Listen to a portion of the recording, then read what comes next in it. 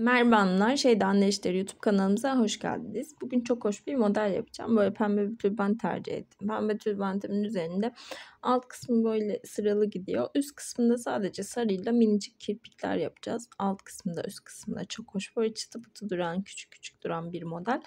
Çok güzel bir model olduğunu düşünüyorum. Yazmam Reyyan marka 5 numara. Altın başak 5 numarayla uyumlu böyle canlı bir ton pembesi. Sarı ipimde 650 numara olması lazım. Numarası içinde yok. Fakat sarı tonları kullanabilirsiniz. Pembenin yine açık tonları kullanabilirsiniz eğer bu şekilde tülbent tercih ederseniz. Ya da yakışan renklerle başka tülbentlerde de kullanabilirsiniz. Hoş bir model, küçük çıtıptı bir model beğeneceğinizi düşünüyorum. Şimdi birlikte modelimizin yapımına geçelim. İpimi tığıma sabitleyerek başlıyorum. Bir tane zincir çektim. Herhangi bir tığ battısından giriyoruz. Bir sık iğne ile ipimizi buraya sabitledik. 3 tane zincir çekiyorum. Hemen bir yandakinden girip bir sık iğne ile kapat. 3 zincir çekiyorum. Bir yandan girip bir sık iğne ile kapatıyorum. Alttaki tığlamalarım 2 zincirli yaptım. Üst kısmı 3 zincirli yapıyoruz. Şu şekilde 3 tane yaparak modelimin göbek kısmına geçiyorum. Tığın başına bir kez doladım. Bir tığ battısı arada bırakıp hemen bir yanındakinden girdim bir ilmek aldım. Şöyle yan bir şekilde bir trabzan yapacağız. Çok küçük olmayacak. Bunu yuva olarak kullanacağız. Önce bir, iki, iki aldım. Şöyle geniş bir yuva elde edeceğiz ki içine çiçek kısmımız sığsın. 2 tane zincir çekiyorum. Tığın başına bir kez doladım. Burada yuva olarak kullanacağımız kısmın hemen içinden giriyorum. 2 2 aldım. Trabzanımı kapattım. 5 zincir çekiyorum. Burada zincirle trabzanın arasından girip trabzanın tepesine bir kirpik yapıyorum bir kez doluyorum. Arada boşluk bırakmadan yani zincir herhangi bir işlem uygulamadan direkt bir kez doluyoruz. Aynı yuvanın içinden girdik. Önce bir, iki, iki aldım kapattım. Bir öncekinden az daha uzun oluyor trab buradaki trabzanım. Tekrar 5 zincir çekiyorum. Pardon. Hemen Şöyle boşluk kısmından girerek trabzanın tepesine bir kirpik yapıyorum sık iğneyle. İki tane oldu. Üçüncü trabzanımda iki kez doluyorum. Aynı yuvadan giriyoruz. İki, iki, iki aldım kapattım. Trabzanları yaparken dikkat etmemiz gereken her birinin biraz daha uzun olması. Trabzanı kapattıktan sonra 5 zincir çekiyorum. Yine şu şekilde trabzanımın arkasından girip kapat. 3 kirpikli trabzanımız oldu. İki kez doluyorum yine. Aynı yuvadan girdim. Önce bir, iki, iki, iki alıp dördüncü trabzanımızı yaptık. Dördüncünün, dördüncünün tepesinde de 5 zincir çekiyorum. Yine trabzanımın şöyle bakın boşluktan giriyoruz. Bir sık iğne ile buraya kirpiğimi kapatıyorum. Şu şekilde toplamda yukarıya çıkarken 4 tane kirpik elde ediyoruz. Dördüncü kirpiğimizi yaptıktan sonra 4 tane zincir çekiyorum. Tığımın başına 2 kez doluyorum. Yine aynı yuvanın içinden girdim.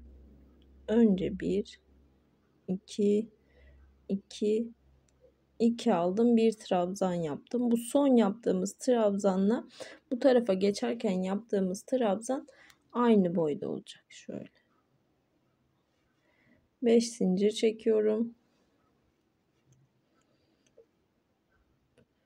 Hemen trabzanın arkasından girip bir sık iğne ile kapatıyorum. Kirpiğimi yaptım.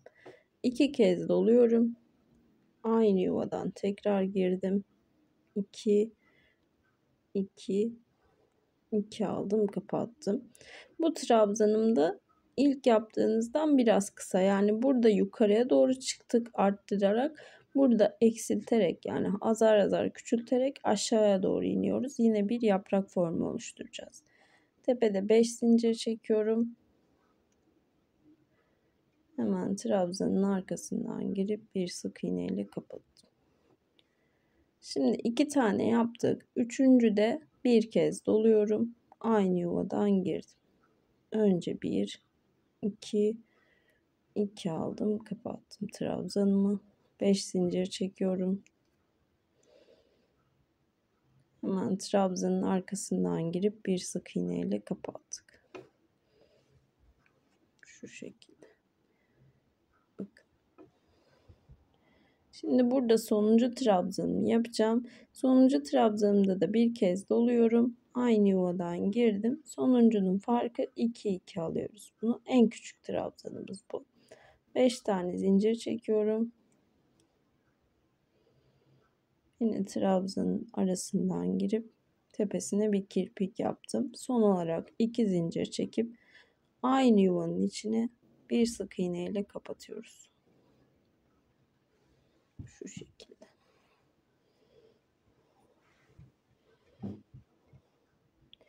Bu şekilde bir yaprak oluşturuyoruz aslında. Bu yaprakları çimen kısımlarında da çok kullandığımız yapraklar. Şöyle önce küçükten büyüğe doğru yukarıya çıkıyoruz. Kirpikli trabzanla arada zincir çekip burada da aşağıya doğru iniyoruz. Yani büyükten küçüğe doğru gidiyoruz bu sefer. Şimdi bu yaprağımızı yaptık. 1, 2, 3 zincir çekiyorum. Bir yandaki tığ battısına kapattım. 2, 3 zincir çekiyorum. Aynı şekilde bir yandaki tığ battısından girdim kapattım. Arada bu şekilde 4 tane tığlama bırakacağım. 3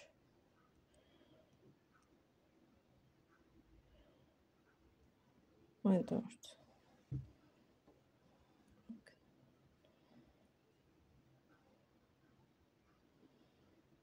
Dört tane tığlama yaptıktan sonra bir kez doluyoruz. Bir tığ battısı arada bırakıp ikincinin içinden giriyorum şu şekilde yan bir şekilde yuvamızı oluşturacağız trabzan yaparak. Önce 1, 2, 2 alıyorum. Biraz böyle ilmekleri genişleterek alıyorum ki daha geniş bir yuva elde edelim.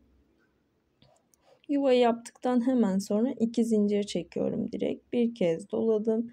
Aynı yerden girdim. 2 2 aldım, kapattım. 5 zincir çekiyorum. Yine zincirle trabzanın arasından girip bir sık iğne ile kapatıyoruz. İkinci de yine bir kez doluyoruz. Bu sefer önce 1, 2, 2 alıyoruz. Diğerinden az uzun olması için. Yine tepesine kirpiğimizi yapıyoruz. Tam tepesine batarak değil boşluktan girerek yapıyoruz kirpiklerimizi. Üçüncü de iki kez doluyorum.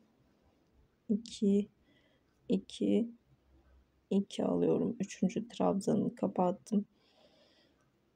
3, 4, 5 zincir çekip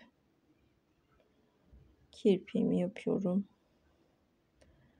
Tekrar iki kez doluyorum. Dördüncüde de aynı yerden girdim. Önce 1, 2, 2, 2 aldım. 5 zincir çekiyorum. Kirpiğimizi yaptık. Dördüncüyü yaptıktan sonra 4 zincir çekiyorum arada.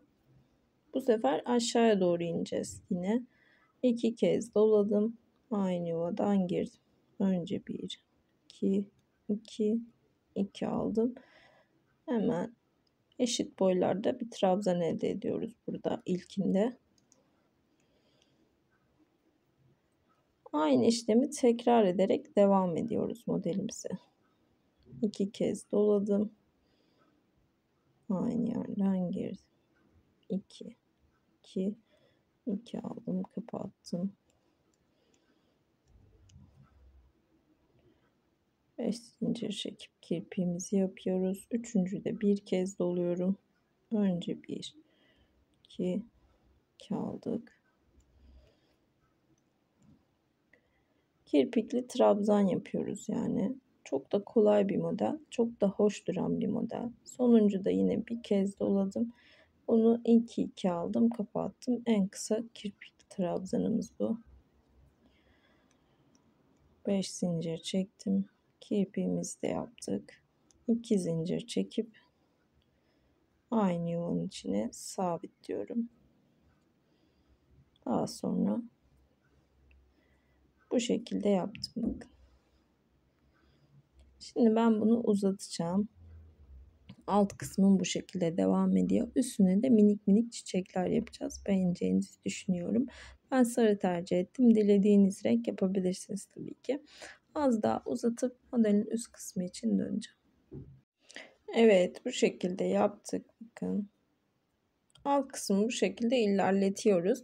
Böyle biraz boşmuş gibi üzeri duruyor ama üst gibi kısımlarımız da yapılınca modelimiz daha hoş, daha güzel bir görüntüye sahip oluyor. Şimdi üst kısmını yapacağım. Üst kısmı çok kolay. İpimi tığıma sabitliyorum. Bu iki kısmın ortasında dört tane zincir çekmiştik. Hemen bu zincirin altından girerek ipimi buraya sabitliyorum.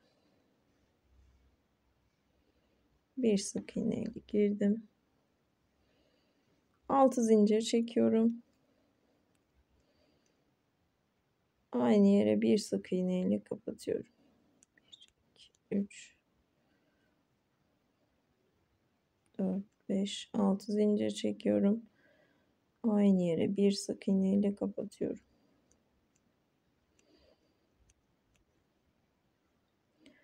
Altı zincir çekip aynı yere yine bir sık iğne ile kapattık. Bir tane zincir çektim. İpimi kesiyorum. Yani bu şekilde. Bakın çok hoş çok tatlı bir görüntüsü oluyor. Pembeyle yapmayı tercih ettim. Çok tatlı sevimli bir model olduğu için siz başka renklerle de yapabilirsiniz tabii ki ben sadece model göstermek amaçlı yapıyorum şimdi ben diğer kirpiklerimi de yapıp bitmiş haliyle döneceğim ve modelimizin bitmiş hali bu şekilde. Kirpikleri yapıldıktan sonra çok hoş, çok sevimli duruyor bu model. Ben çok beğendim. Bunun benzeri bir iğne oyası yapmıştım. Haki Yeşili bir yazmaya. Şeyden iğne oyaları kanalımda da var yapımı. Aslında ondan esinlenerek yaptığım bir model. Yapraklar bu şekildeydi yine. Onun da üzerinde kirpiklerimiz vardı. Bu kısımlarda boncuk da kullanabilirsiniz. O şekilde daha farklı yapımlarını da gördüm. Yani bu şekilde şu ara kısma benim kirpik koyduğum kısma boncuk, ince o tarz şeyler koyabilirsiniz. Ama bu şekilde de çok tatlı oldu. Dilediğiniz her renkte yapıp deneyebileceğiniz bir model. Sade yazmalar özellikle çok yakışır. Çok yakışacak bir model. Ve diğerlerinde çimen kullanıyoruz. Genellikle desenli yazmalarda birkaç renk kullanıyoruz. Ama bunun altı tek sıra olduğu için tek renk oluyor. Üst kısımda yine rengarenk de tercih edebilirsiniz kısım renkler tamamen sizin zevkinize kalmış. Ben paylaşımlarımı model amaçlı yapıyorum.